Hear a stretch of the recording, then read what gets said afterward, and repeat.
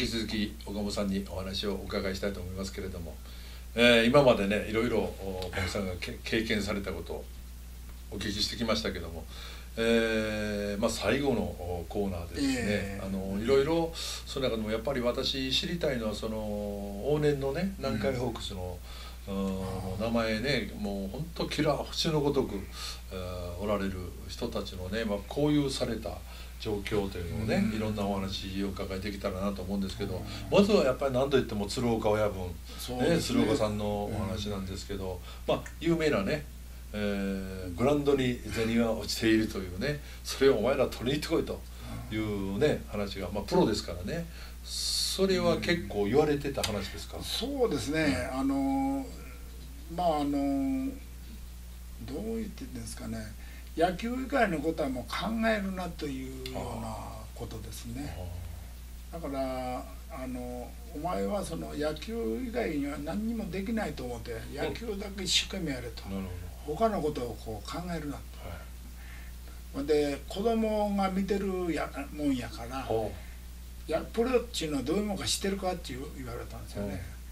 はお前ら会社からね金もらってると思ってるやろ」うん、って言ったら「このスタンドに来てられるお客さんからお金もらってる」だからいいプレーを見せていいことをやればまた明日も見に行こうかっていうことになるんじゃないかと、それがみんな給料になるんやと。そう分かったですね初めて。だからグランあの会社からもらってと思うなって言うんです。このお客さんからもらってんだ。その感覚大事ですよね、うん、それを知ったらねいいプレーやってはあいいプレーやなまた明日も何回こそ見に行こうとか近鉄見に行こうとかいやそう思うやろと、うん、だからそれをあのお客さんに見せなあかんと、うん、なんやわしらと変わらんなっていうのはこんなゲームやってたらね、誰が見に来るんや。と、うん、なるほど、うん、さすがプロやと、うん、そう。やっぱわしらではできないなという、それを見せなあかんと、そのためにお金もらってみる、ということをしょっちゅう言ってましたな。例えばその木塚さんのね守備とか、そのやっぱり小神業の守備みたいなのね。ああもう、まあ、あの人通りようやからねいつも70ぐらい通りしますからね、肩が強かったんですよ。あの昔よく鉄砲技って言うんですけどね、もう取ったとこからファースト掘る球はもう糸引いたみたいにいくんですよね、うんうん、こうならないんですよ、うん、から、からやっぱりあれ見ててびっくりしましたね、それであのグラブがね僕らこう使うんですけどね、はい、こう使ってはるんですね、うんうん、で立てて。ポンいやもうこういうが広くて、はい、でここへポンと音がするぐらい棒で白いのが入るわけ、はい、それをこう見てるわけですよ、ポンと入ってピョンと掘るんですよだからゲッツーの時に僕がセカンド入った時に、うん、よう見とかなんだろうどこから来るか分からない、手を見とかなね。木塚さん守備範囲も広かったんですか？広かったですね。うんあんなとこよう取れるなと思って取ったんはいいんですよ。そこからファースへ。放るのがね、うん、それができないね普通の人じゃね、やっぱりそれを見てはあっとお客さんが思うわけですよね。いやもうそれは中3中3ですよね。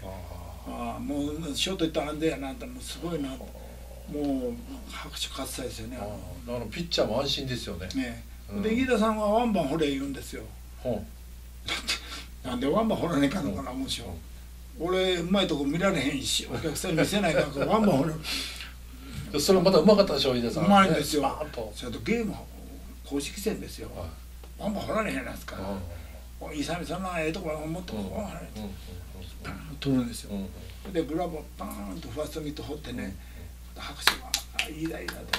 それワンワンバン掘れんですよ。なるほどね。そんな人まあまあ長嶋さんがねちょっとあのあのオーバープレイみたいなねそうそうそうそう。そうそうもう早ったらいいのにみたいな。ことなんかファンを楽しませるというねあの意識っていうのはやっぱりあったですよね。うん。だから余裕ないとなかなかできますよ。あできないですね。どこもやってやってね、それで僕はまあ長嶋選手ってどんなかなと選手権の時で会わないですから、それで見たけどはあさすがやな思ったんですね、軽いし。どういうところが？身が軽いね、うんそれとバッティング練習でほとんどコーンコーンと軽うってホームラン打ってたからね。ああこれが長嶋かなと初めてですよねスター性ありましたか？ありましたね。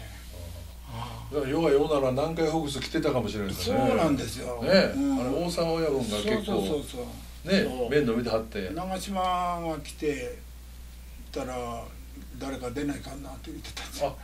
あなるほどなるほど、俺はセカンドやからお前サードのやつ危ないぞとああそういうふうに選手間では、ええ。うん。あいつ今日ったら出ないかんなとうん。トレードささせられるのちゃうかなとか言ってみんな言うてたけど。結構どんでん返しちゃったんですよね。そうですね。うん。最後の最後でね。うん。だけど鶴岡さんはあの時やっぱりお前はあの東京でやった方がええなっていうことを言ってられました、そんなのよう分かってはったんですよね。いろいろといろんな意味で、うん長島はまあ謝りに来たけどね。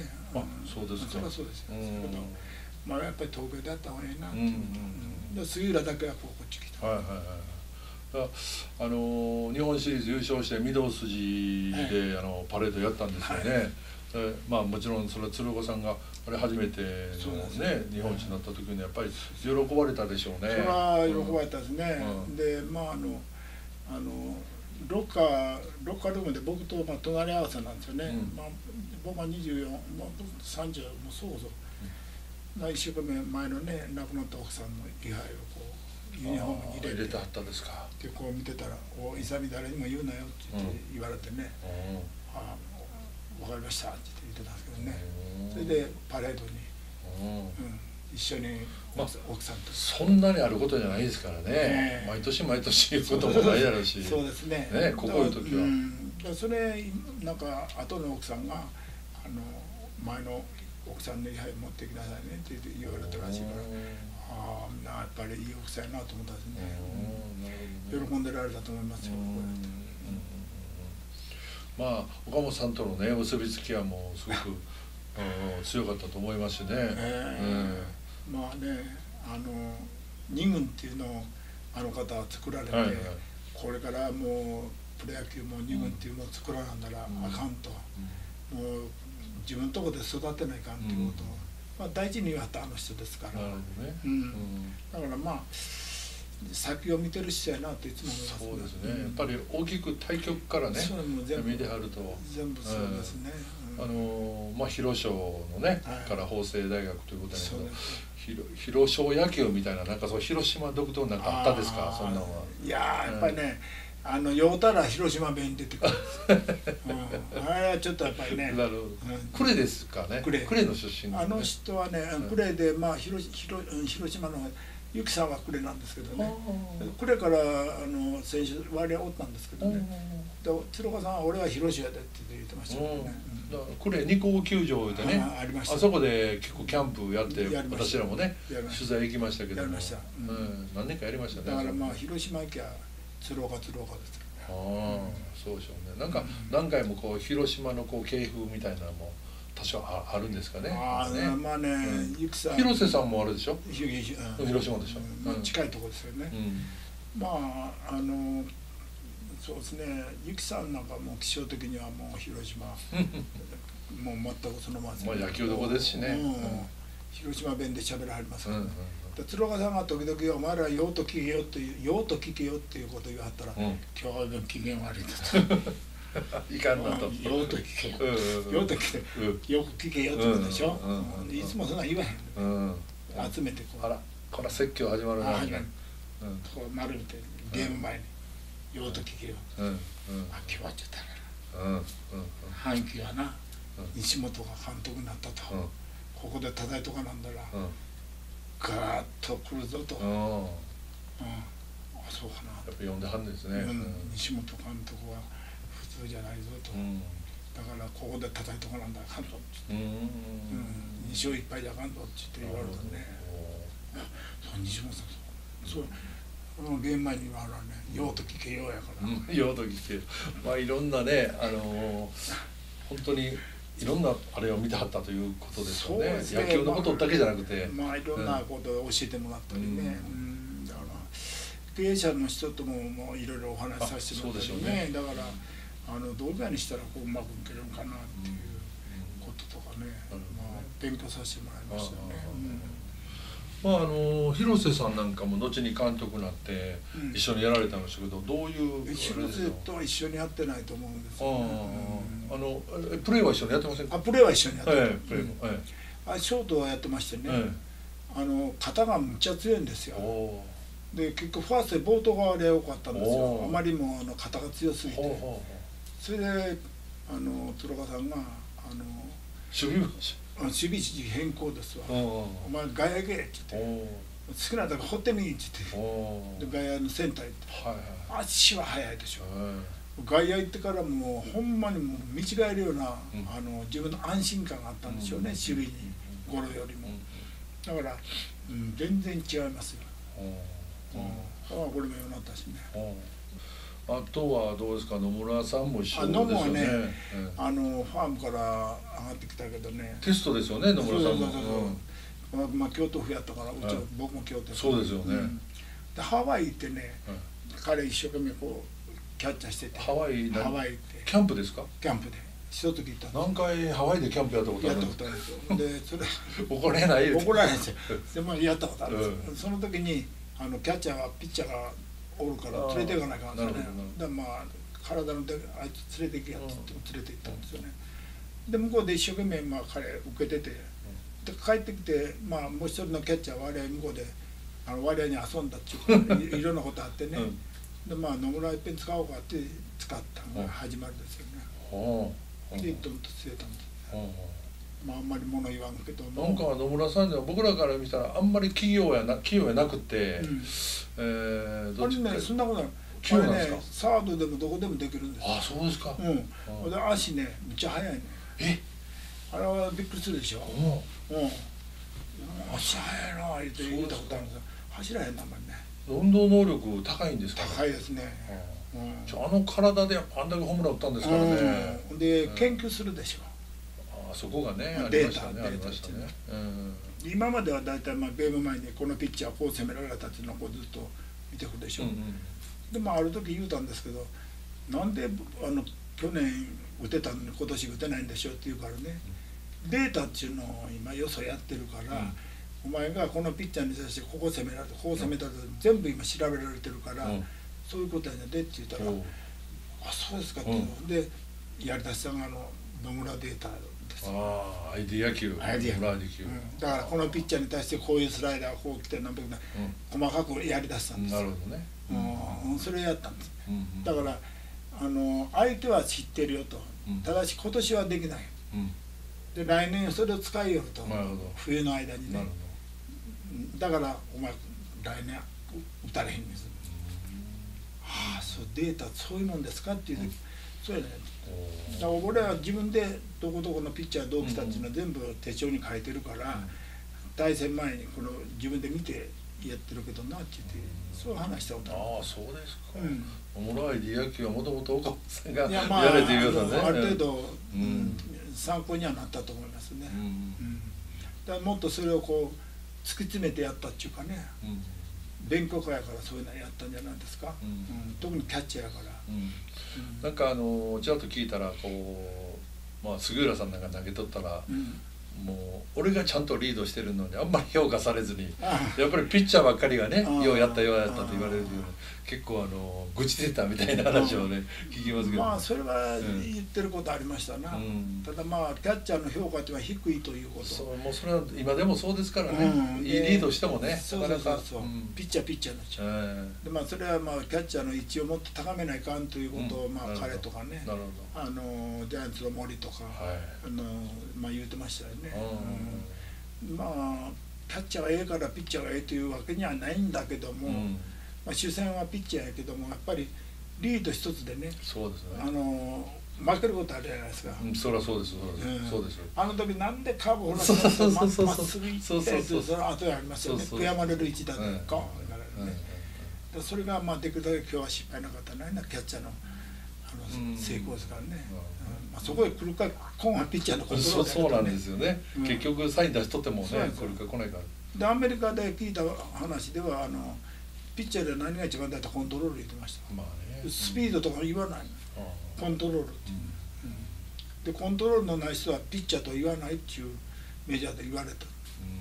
あまあそういう意味では杉浦さんなんかやっぱりコントロール良かったですかね。あ早かった。早かった早かった球カがーブがすごい。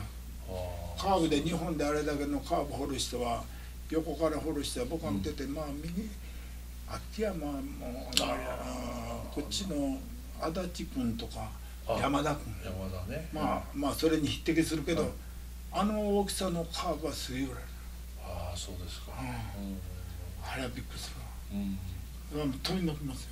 おおなるほどね。うん。うーって見てここまで来てふわっと振るだけですからそうですね。僕らも古いフィルムしか見たことないけども、あのーやっぱりこうなんかね横手投げのピッチャーと思えないんですよね、うん。なんかもう上からこう放ってきてるピッチャーの球ぐらい威力があるというか、あれはねね、昔はあの上からやったんですよ。だらしいですね。どこ行くか分からへんうんどこ行く分からへん。うん。ジャイアンツの大友さんとおるでしょ、はあはあ。うん。あの下から掘ってるのを見てやってみよう思ってこうはあ。ったらよかったって言うんですよだから初段見てやってみたいうんうんまああの野村さんがあのあれあのねあのいくらリードしてもやっぱりそのと放られへんかったらこれまだねそれはそうですよ。んそうですよね、やっぱりピッチャーで一番大事なコントロールでしょそうですね。うん。あのスタンカ投手はどうやったんですか？ああこれはね、熱血感で、まあ、ちょっと気が気性が荒かったけども、うん。球は速かったね、うん。うん。このここで三振取れるピッチャーやね。うん。うん。あのアウトコース低めとじゃなしここの胸元でうん。バーン来ますよここで、うんサラウリや。あのなんか古いフィルムでねあのストライクがボールかで宮本。巨人巨人戦でしたか巨人巨人戦で日本シリーズですかねあの宮本。でストライクやないかみたいなね。野村さんも怒って怒ってね、審判になんじゃみたいなんで。その後ヒットを打たれてそうそうスタンスタンカもあのあの審判に体当たりして やってましたね。ベースカバー入るあれね格好して。ど真ん中ですか？あど真ん中まああの何遍もあの見てみたけどね。あ真ん中やね。ずっと入ってると。うん入ってるなあれは。だけどねあのそのアンパイアでもね時々そういうことあるんですよ。うふっとありますよね、ん、うん。でも一番大事なとこでしょ。まあね。うんまあそれは打ってくれたらよかったですね、うんいや歌うんそう。ね見逃見逃されたから。まあねまあ言われへんけどまあそれはなんかね、うんピッチャーとしてはたまらんわね。ほどね。たまんなかよ。うん。これねもう僕もねもうしがないピッチャーでしたけどねストライクや思ったらボールボール言われたんでものすごいショック大きいんですよ、うん、らしいね。次引きずるんですよ。あらしいね。大抵打たれますよその後、うん。でこれで決め球や思っていってそうねそうそうそう、ん。まあそれ成功つけるしねそこで。そうなんですよ。カッとねもう切れてまうんですね、まあわかりますよね、うん。それはバッターでも結局ボールや思ったらストライクがあれてね。そうですよね。それ逆も。一緒ですよね、なんじゃいうことですね、うん。だけどさアンパイアも人間やからね、まあまあそりゃそうです。うん、全部が全部もうきちっといかないですよ、うん。うん。わざとやってるわけないから。まあね、まあ監督をいろいろ歴任したいとまああの穴吹さんなんかも監督後にされたんですけど、うん。あのあなた開幕開ますでね、ああの話題になりましたよね。穴吹さんなんか重なりましたか？うん。いやあれとはねあのプレーは一緒にやったけどもそういう面では一緒でないですね、うん。役役のあれでは。なるほど。あの、うんコーチされてる、うん、あれサードで入ってきたんですよ。そうですよね、ううん。んだけどサードは無理やなっていうことで,、うんうん。で外野かどっか行ったんじゃないですか。なるほどね、初めびっくりしたんですよえらいパンチしてるなって、人がいいからねあの人。は、あのまあ僕らも選手時代はもううっすら記憶薄いんですけどあの監督時代はねよう取材させてもらいましたけど、うん。あのドカベンがね入ってきたりしてね結構大変でしたよね。もう広瀬さんも時もドカベン入ってきてもう大騒ぎになってましたんでね、で荒吹さんあの結構ね血液型をねああ優先するんですよ。何型はどうやとか言うていやあねの今流行ったからね。血液型分析やって選手全部ね調べてるんですあそれとあの年俸比較をねああのして1番2番3番とか年俸比較してうん。どっちが年俸要件持てるかでうんこれじゃ勝てんわなとかよう言ってありましたけどもね。やっぱり年俸上げていかないと。うん。ね、だ当時の西武なんかやっぱりものすごいもう年俸みん。なそれぞれが取ってましたんでね、そらまあやっぱりジャイアンツの選手よくもらってたね。そうですよね、もうその辺ね。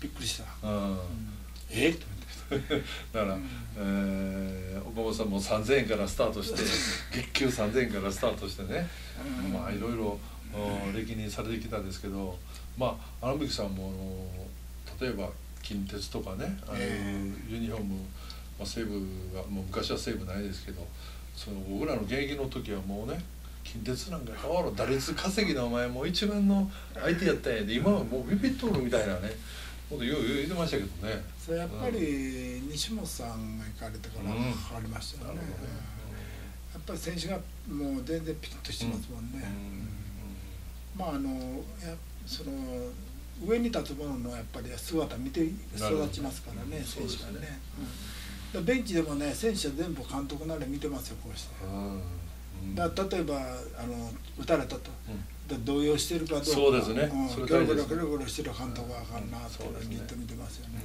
見たんですよ今の監督どうです？万歳参照してますけどベンチで。どこのかホームラン打ったら、ああ、ええ。あれね、えまあその最終戦はええと思うんですよ。9回に万歳さよならとかなるほどなるほど。そういう時は万歳でいいと思うけど、はいはい。途中は危ないね、うん、またひっくり返る可能性あるでしょ、う んまあそうですね、うんできっちりひっくり返ってますからね、うん、ペッチャーブーツく時は落ち着いた時はいいですよそのうん万歳うんうん。さよならホームランとかうんうん。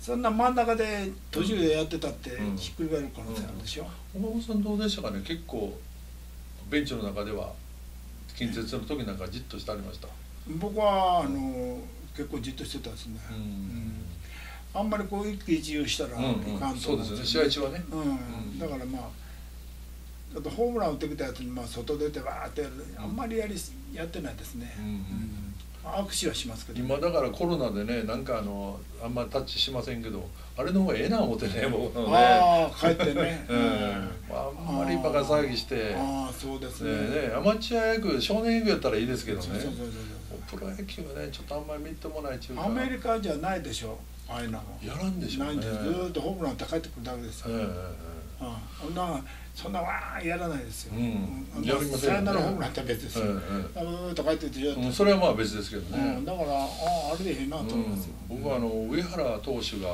あのメジャーで投げ取って、えなんかリードしてて自分がリリーフでいてひっくり返されて、まあ、その彼の勝利投手の権利もなくなって試合も負けたと。うんで上原はもうベンチに入ったもう俊太郎ですよね。あほんでもうみんな謝るんですって。申し訳ない申し訳ないってこう、うん。に日本人はまあ謝りますよね、うん。ひっくり自分でひっくり返されたわけですから、ほんなら選手がね「お前何謝ってんや」と。一生懸命やらんかったんかと。うん。一生懸命やらんかったらしょうがないけどお前一生懸命やったんやろと。それでこういう結果出た。らこれしょうがないやないかと。何謝っとんねんみたいなことを言われて、まあ、びっくりしたっていうようなことを彼が言ってたことあるんですけどね、ああこういうやっぱり考え方違うんやなと、うん、ねベスト尽くしてやればね、うん。うん、逆になんかもうそんなに大したことないことをもう騒ぎすぎてですよ。もうこのぐらい前取ったことないみたいなもんね。あまあそういう考え方もね考え方の人もおるやろうけども我々はちょっとね、まあ、古いんかどうか知らんけども、まあ、違和感ね多少、うん。もうちょっとどしっと落ち着いてほしいよね。それはええと思うけどね、うん。まあ一喜一憂はせんとけって言うから、うん。まあまだ終わるまでわからんからっていう、うん、下駄履くまではね。下駄履くまでわからん、何があるわからんしね。う、ん。で誰も怪我するとかこうしようとは考えないですようね、ん。もしあれ怪我したらどうしようかとは考えないですよ試合中には、なるほどそれはそうですね。誰が当てられるわからへんうん、でしょ、それはそうですよね、うん。だから何が起きるわからないんですよ。うん。ただ起きた時にどうしようかっていうことだけ考えておらんだからあかんですよね、だからもう毎日体張ってね勝負してるわけですから、そうですそうです。ようそんな長いことやってきましたね。